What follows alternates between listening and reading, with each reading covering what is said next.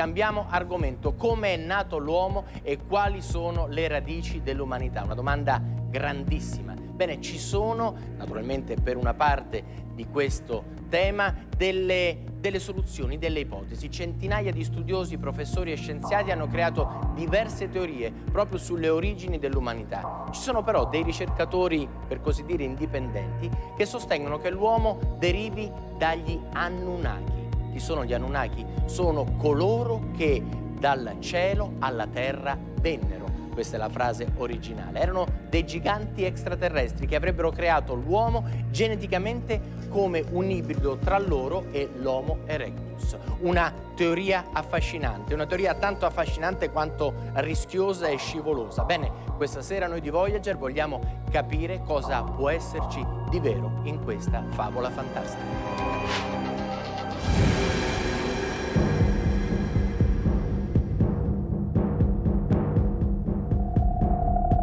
Da dove arriva la specie umana? Quali sono le sue vere origini?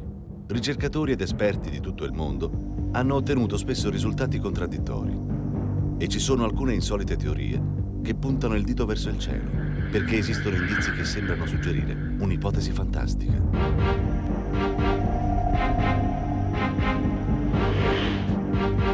Chi ha insegnato ai Sumeri le dimensioni dei corpi celesti e la loro esatta disposizione nel sistema solare? Come può il popolo dei Dogon nel Mali tramandarsi da generazioni la strabiliante conoscenza di Sirio B, la stella compagna di Sirio scoperta soltanto nel 1862? E che cosa significano gli arcani simboli scolpiti sulla colonna che affianca il misterioso guerriero di Capestrano, ritrovato in Abruzzo nel 1934? Stiamo per analizzare le ultime incredibili ipotesi riguardo l'origine della vita sulla Terra. Ma non solo. Seguiremo le tracce delle più sacre reliquie della cristianità. Entreremo nei più oscuri segreti del nazismo esoterico. Questo ed altro tra poco, dopo la pubblicità.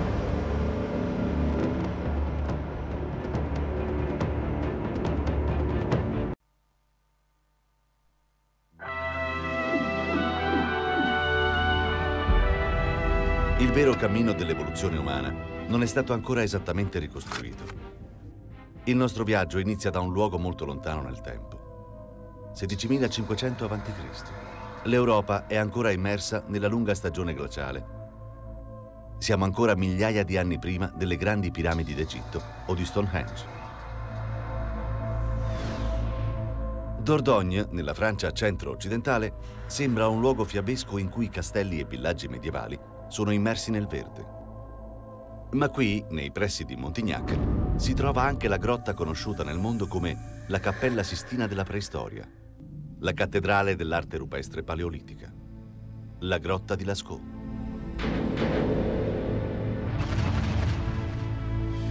La storia della scoperta di Lascaux parte dall'iniziativa di quattro giovani adolescenti.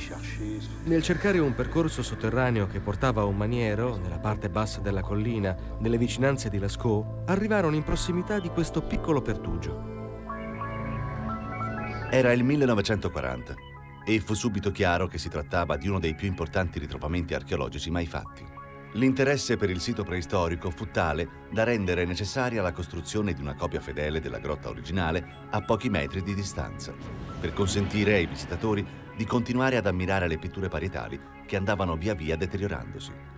E ciò che si ammira è un immenso affresco formato da 1600 figure, vecchio di 18.500 anni.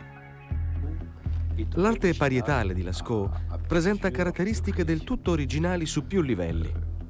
La grotta stessa è una piccola cavità lunga 250 metri, ma le pitture e i disegni che sono riprodotti nelle pareti sono di dimensioni colossali. La figura più grande è situata nella sala dei tori e misura 5,50 metri di lunghezza.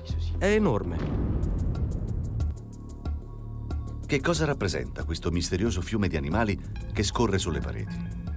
Questo sito archeologico è un enigma. Da decenni gli esperti provano infatti a capire perché gli antichissimi autori degli affreschi si avventurarono nel ventre profondo della Terra per dipingere figure così gigantesche. Nella cosiddetta Sala dei Tori, posta vicina all'ingresso, vi sono dipinti a semicerchio sulla volta quattro auroch e un leocorno. I disegni sono realizzati con un pigmento di manganese nero. Alcuni studiosi hanno ipotizzato che queste figure possano rappresentare una mappa celeste che indicava agli abitanti l'avvicinarsi del solstizio d'estate. Proprio sopra la testa del primo toro sono stati dipinti sei piccoli cerchi, apparentemente senza alcuna connessione col resto dell'affresco. Che cosa potevano significare? C'è chi sostiene che si tratti del gruppo di stelle delle Pleiadi, nella costellazione del Toro. Uomini preistorici che dipingono le Pleiadi sulle pareti di una grotta. È possibile? Ma c'è dell'altro. Nella grotta comparirebbero altre otto costellazioni, disposte lungo l'eclittica, che con sbalorditiva precisione ricostruiscono una sorta di zodiaco preistorico. Sono solo suggestioni?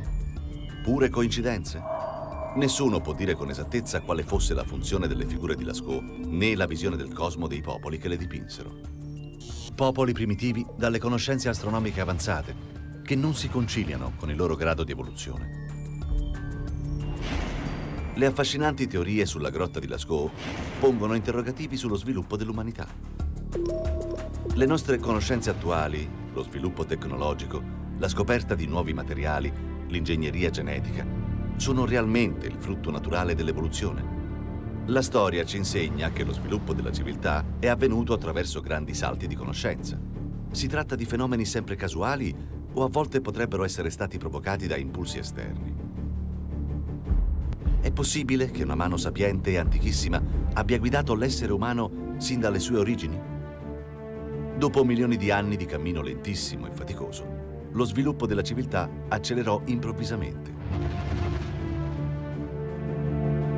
Circa 6.000 anni fa si insediò nel territorio dell'attuale Iraq una delle più antiche e misteriose civiltà, i Sumeri. Non si conosce l'origine esatta di questa popolazione, è invece chiaro che i Sumeri fossero dotati di conoscenze avanzate sin dalla loro comparsa, conoscenze tali da fornire le basi di tutte le grandi culture che seguirono. I babilonesi, gli assiri, i greci e poi i romani fino alle culture moderne. La scrittura, la matematica, l'ingegneria, l'astronomia, tutti gli aspetti della civilizzazione che noi consideriamo essenziali sembrano aver avuto inizio dai Sumeri. Ma come era giunto questo popolo a tali conoscenze? Nei loro miti, i Sumeri fanno riferimento a una leggendaria città-stato, Aratta.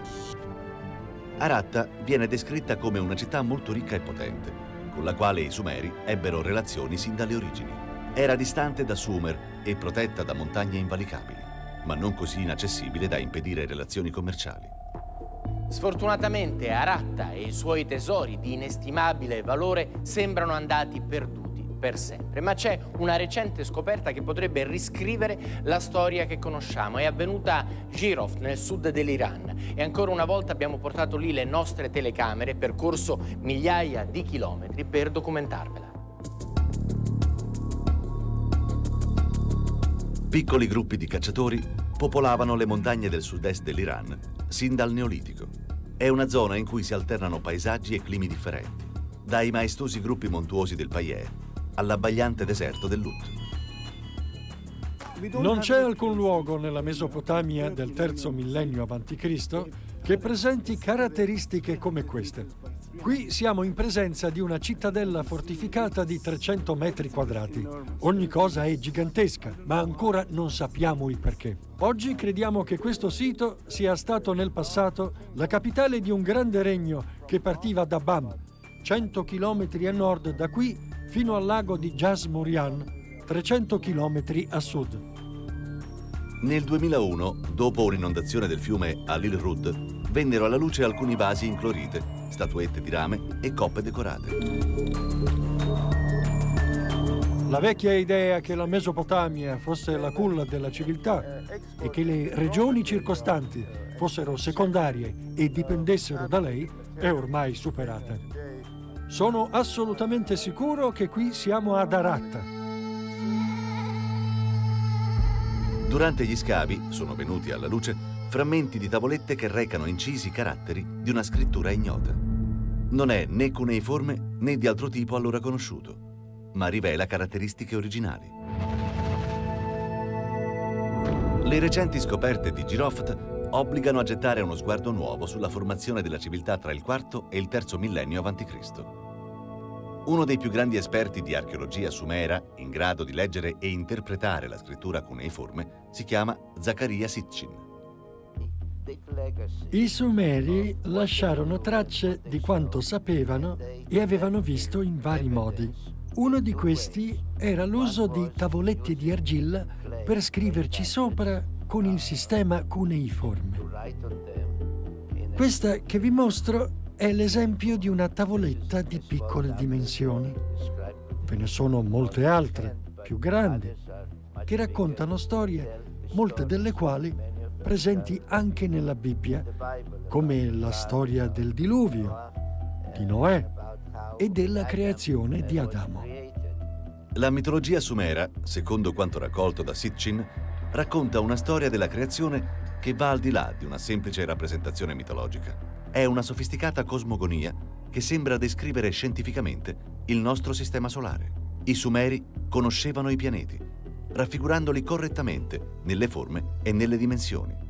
Su un sigillo analizzato da Sitchin è raffigurata una grande stella radiosa centrale, il Sole, circondata da 11 globi. Mi sono molto appassionato a questa immagine perché mostra il sistema solare con il Sole al centro circondato da pianeti. 4500 anni fa, i Sumeri sapevano che nel nostro sistema solare il Sole e non la Terra, come avrebbero creduto più tardi i greci e i romani, era al centro. I Sumeri inoltre conoscevano l'esatto ordine dei pianeti, come lo conosciamo oggi. Niccolò Copernico, nel XVI secolo, affermò che la Terra e gli altri pianeti ruotano intorno al Sole.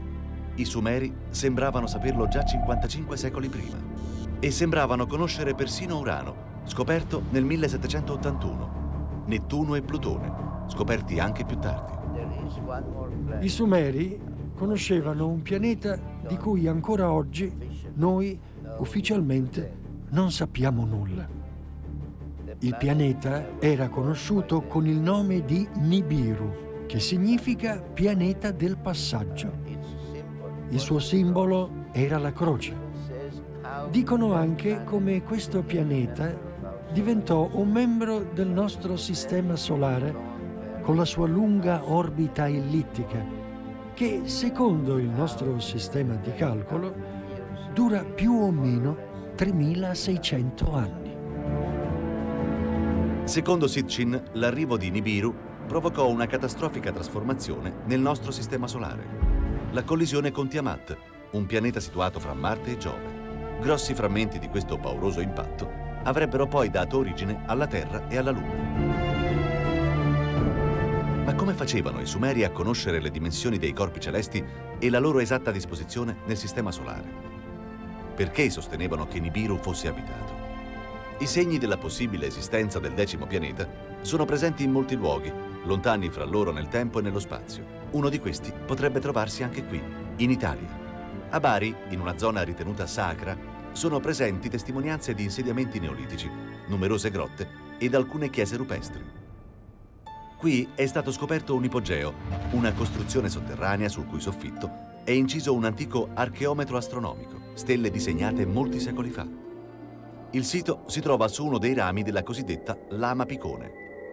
Le lame sono antichi letti di fiumi ormai completamente secchi che dalla Murgia arrivavano fino al mare. La loro esistenza testimonia la presenza umana già a partire dal Neolitico. In ambienti ricavati scavando nei calcari e nei tufi di tutta la zona, sono state ritrovate selci lavorate e utensili. L'incisione realizzata con rudimentali scalpelli è di difficile datazione, ma con ogni probabilità risale a un'epoca precedente al Medioevo. È la rappresentazione della volta celeste, secondo un'antica tradizione astronomica risalente agli Egizi e poi introdotta in tutta l'Europa. Ma cosa ci dice l'astronomia contemporanea al riguardo? Uno dei più grandi osservatori astronomici si trova sul Mount Graham, in Arizona. È un centro internazionale di ricerca e anche sede del VAT, il Vatican Advanced Technology Telescope. L'osservatorio astronomico della Santa Sede, o Specola Vaticana,